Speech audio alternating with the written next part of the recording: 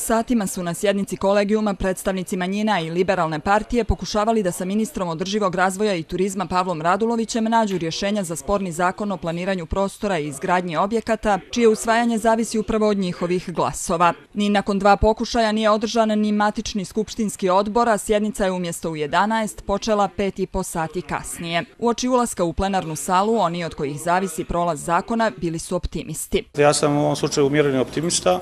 Dali smo sebi još vremena da e, naše nesuglasice ili e, oprečnosti koje ima oko zakona razmotrimo. I razgovori će biti nastavljeni i dalje i nadam se i vjerujem da ćemo doći do povoljnog rješenja i da ćemo prevazići ono što je glavna zamjerka manjinskih stranaka i kolege Popovića iz Liberalne partije, a to je sužavanje, e, sužavanje jurisdikcije i nadležnosti lokalne samouprave.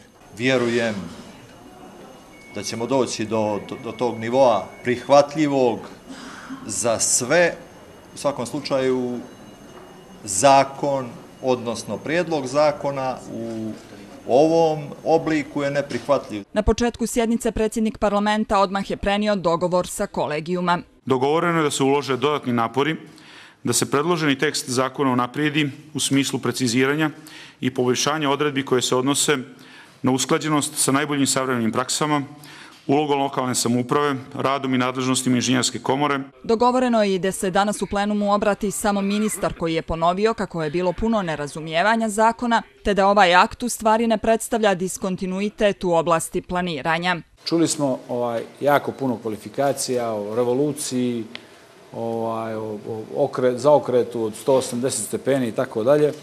Dakle, ja bih ovaj zakon prije nazvao evolucijom nego revolucijom. Dakle, sve ono što je kvalitetno funkcionisalo ili što se moglo dodatno unaprijediti, zadržano je.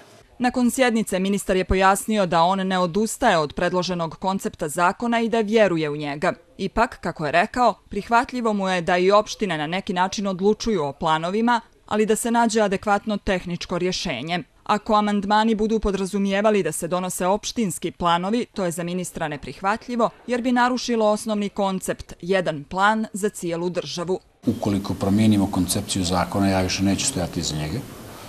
Ovaj, to je neko čak i interpretirao kao, kao dio moje ostavke. Ja ga neću sprovoditi kao takvoga, pa ga možete, možete rastomačiti kako hoćete. Ono, ono na, na, na čemu pla, koncepcija plana insistira jeste jednovremeno, jednovremeno, donošenje planskog, integralnog planskog dokumenta za čitavu državu. Slijede konsultacije i sjednice skupštinskih odbora, tako da se nastavak zasjedanja očekuje narednih dana.